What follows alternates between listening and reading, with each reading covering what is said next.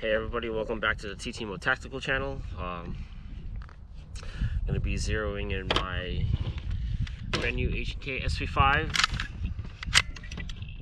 I've had this for about a month now, and as soon as I picked it up, I submitted a tax stamp for it because, come on, let's not fuck around with braces. We need the real deal stock on here. So, um, first time trying it out. Let's take some shots, let's zero this in very complicated from an AR-15 zeroing procedure, but um, we can do it. Got my instructions right here. And uh, yeah, let's take some shots. Lock the bolt back. Check the bag, click, and all right.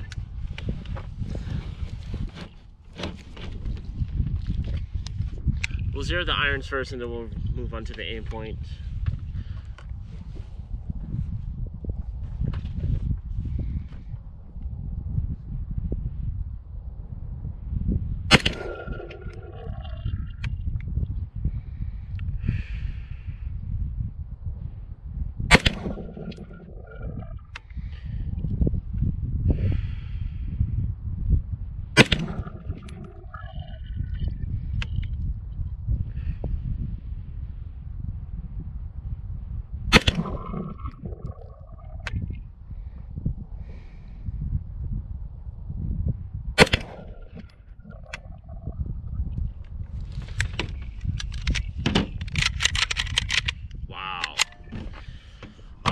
Shots don't look like they're too far off.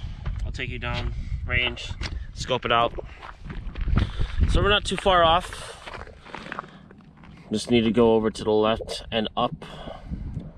I think we should be good. I won't bore you with the zeroing procedure, so I'll tune back in when everything is all zeroed in. Alright guys, welcome back to the TTMO Tactical channel. Um, we got everything zeroed in, which is great.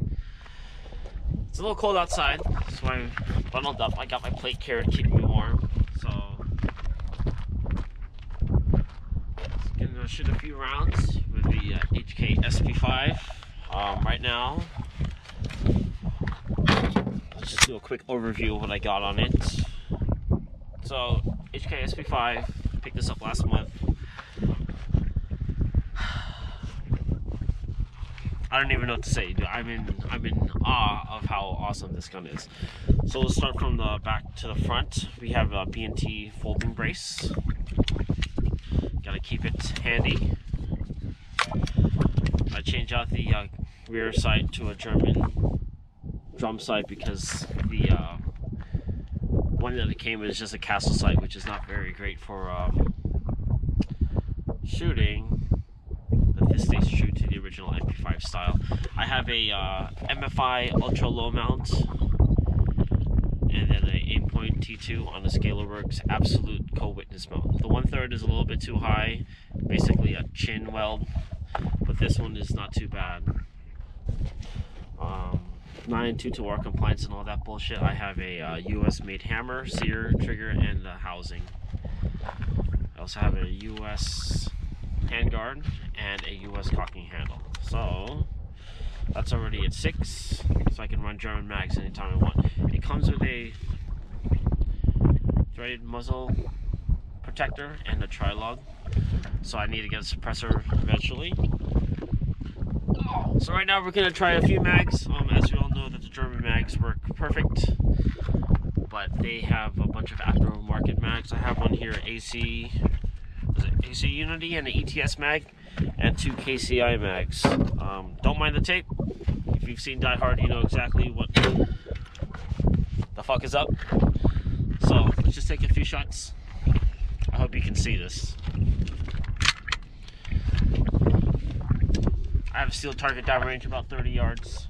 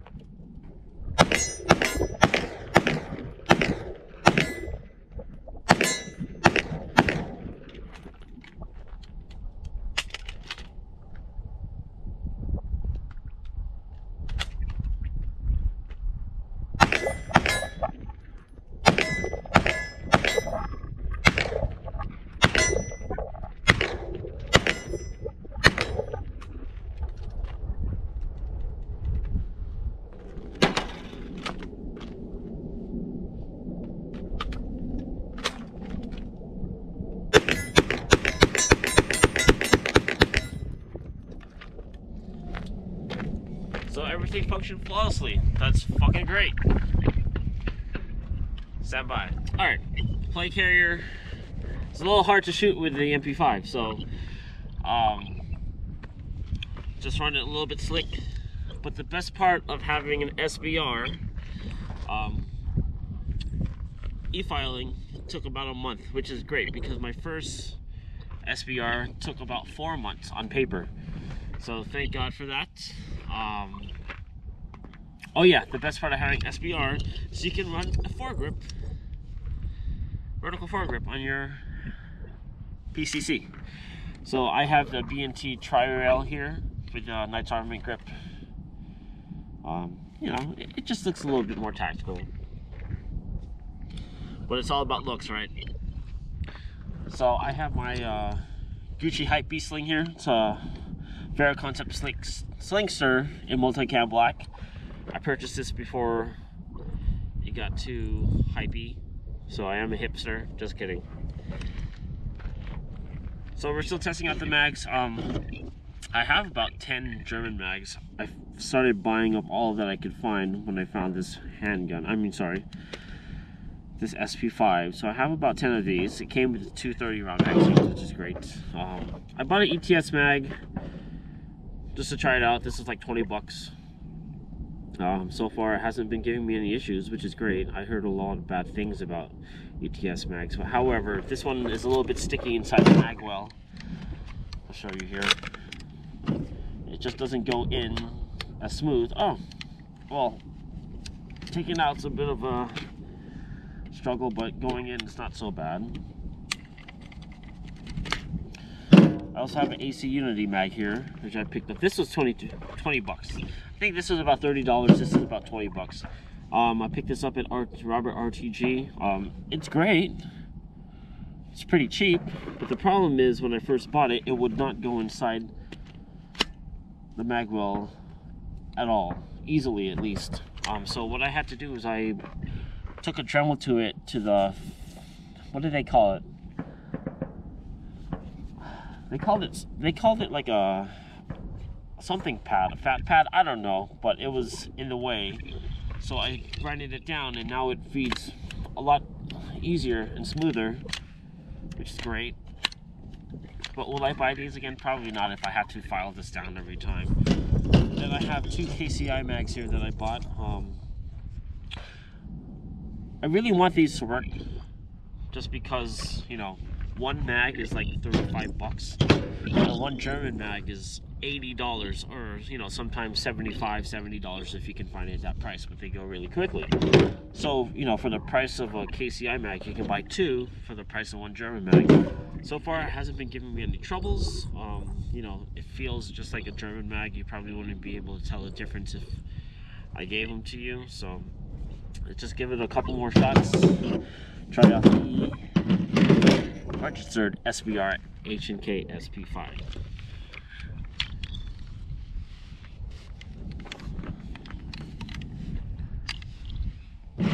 Try the ETS mag.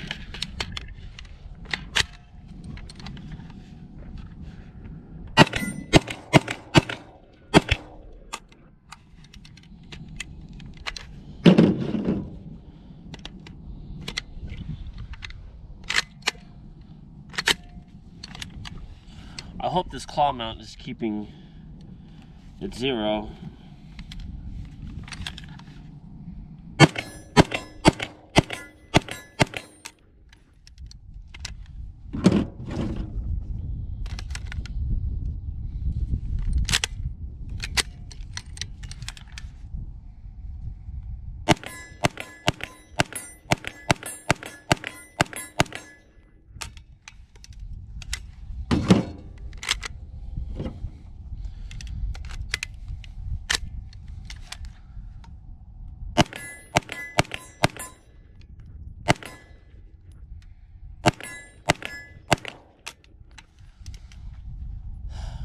well, they'll feed pretty well. So, uh, yeah. Short little range trip. Just wanted to finally shoot the SP5 after having it for an entire month and not shooting it. That was agonizing as hell. I'm just waiting every day for the tax stamp to come through. So,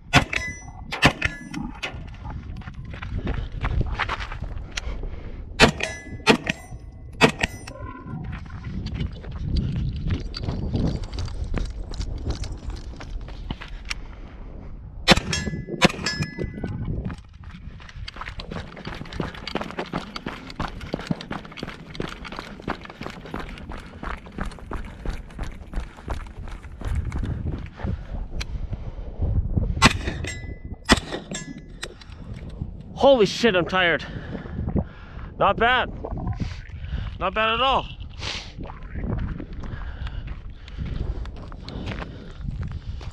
HKSP5.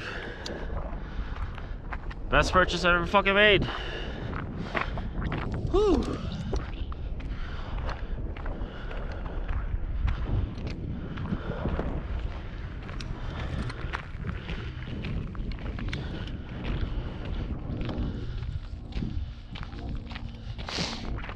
Wiedersehen, folks.